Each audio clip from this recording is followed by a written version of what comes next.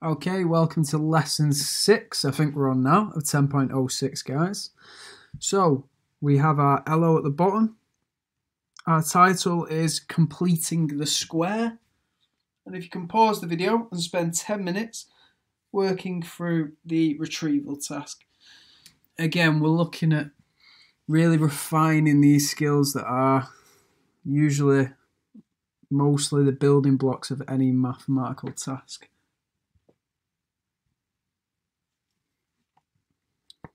Okay, let's have a look at the answers. Get your green pens at the ready.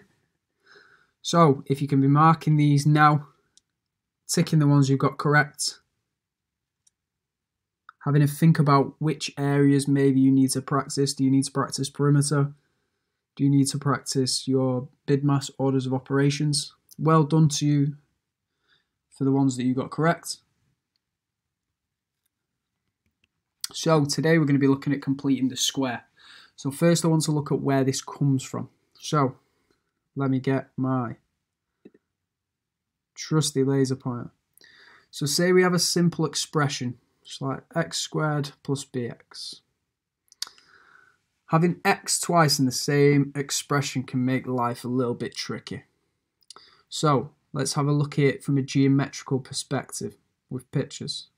So if we've got x squared, that means that we've got x times by x. So we can represent that as a square because our x's are the same.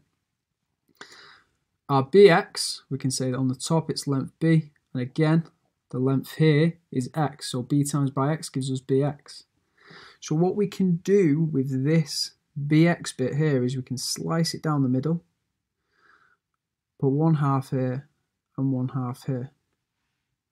So, as you notice, we have a square here but we're missing this tiny little bit here, this tiny little green square, which is essentially b over 2, yep, times by b over 2, so it's b over 2 squared. So as you can see, the x squared plus bx can be rearranged nearly into a square. And we can complete the square when we add our little green square here, our little green b over 2 squared. So in algebra it looks like this x squared plus bx plus our little completing the square bit is equal to x plus b over 2 times by x plus b over 2. So we're going to use that today to look at a different form of factorization. So if you can pause the video now and copy this diagram for me and also this. So what it looks like geometrically and what it also looks like in algebra. So pause the video and take two minutes, three minutes, copying both of those down. Okay, so there are things called perfect squares. So if we look here, so our x plus 3 squared, when we expand that here is what we end up with. So on the side we can see what our power forms are. So 3 squared means 3 times by 3 which gives us 9. And as we can see our 3 here, so if we had x plus 3 and another bracket that had x plus 3 our final value is always going to be 9. The coefficient for our x is always going to be this number added to itself. So can you pause the video now for me and spend two minutes trying to solve as many, trying to expand as many as these as you can and find out what they are equivalent to.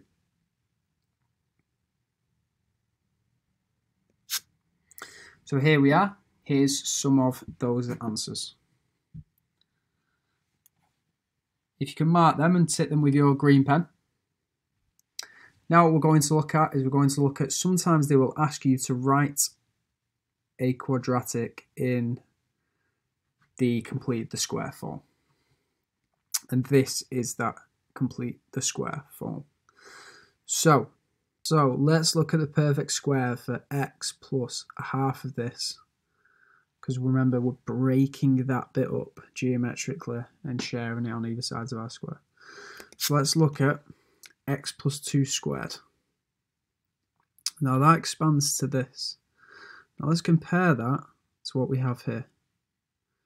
So we've got the x squared, we've got the 4x, and we've got 4, not 10. Hmm. So you can look at that and say, well, we need to add 6. So we need this with a 2 here, plus 6 will get us there. But if we have a look, so we've got x squared plus 4x plus 10. That's equal to rx plus 2 squared, which we've shown here, if we add on our 10 at the end, and we take away our 4, because we don't want that 4, but we do want a 10 to match. So if we cancel that, becomes 6. So we've got x plus 2 squared plus 6. So our a is equal to 2, and our b is equal to 6. Now looking at that, let's try and do some together. So we use a half this. So in our brackets, we have x plus 9 over 2 all squared. We add the 5 that we have at the end. And then we need to remember to take away this value squared. Because if we expanded these, if we expanded this squared, it would be brackets x plus 9 over 2, brackets x plus 9 over 2. So we need to remember that we're taking away that 9 over 2 squared. So if we simplify this, we've got x plus 9 over 2 squared plus 5 minus, so we square both terms, 81 over 4. So then if we simplify this, we end up with 20 over 4, take away 81 over 4, and it leaves us with x plus 9 over 2 squared minus 61 over 4. If you've got that copied down, make sure you pause the video and now spend two minutes trying to complete the square for the we do. And there is the answer. Again, make sure you're correct in that or ticking it if you've got it correct. Now on to the next one. So, let's try in the brackets x plus 3 over 2, so we'll take a half of this, x plus 3 over 2 all squared, plus the 5. Then we need to take away this value squared. So our bracket stays the same. Let's get a common denominator here, so we get 20 over 4, and then square the numerator and the denominator. So we're subtracting 9 over 4. If we simplify this, here is what we get. So if you can now spend two minutes trying to solve the we do,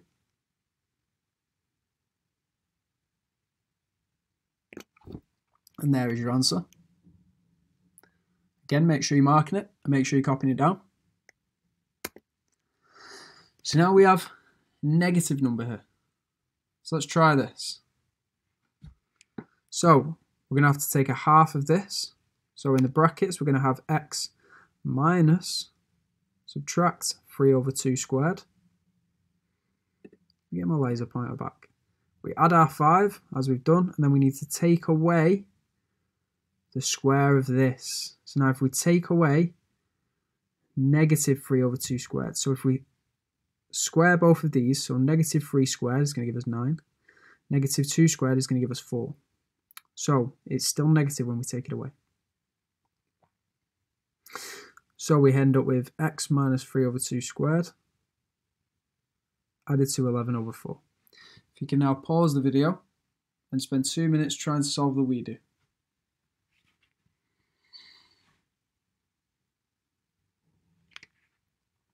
And here is your answer.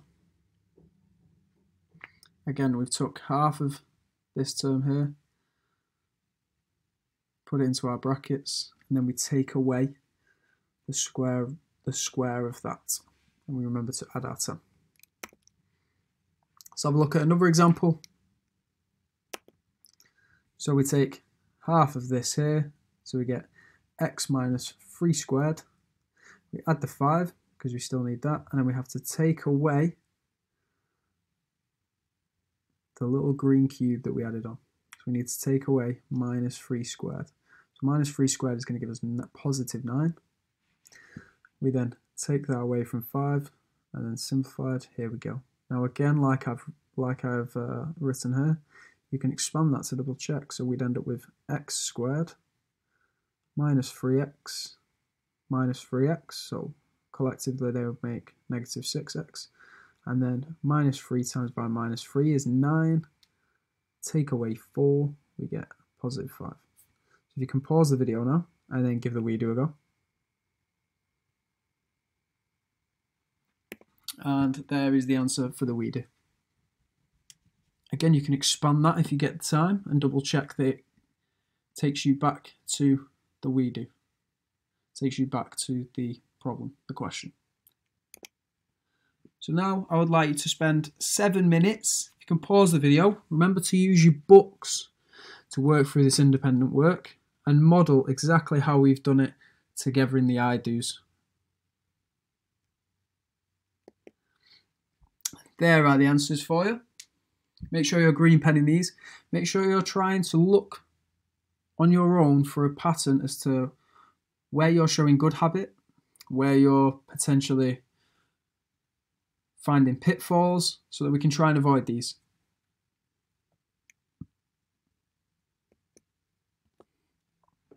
Well done guys, that's the end of this lesson. You've learnt a brand new skill, been able to look at it geometrically and algebraically, which hopefully will make it stick in your mind. Now is an opportunity for you to think about what you did well, what you struggled with, and how you can target that. It's also an opportunity for your teacher to offer out any achievement points or any top performer awards. Well done and have a nice day.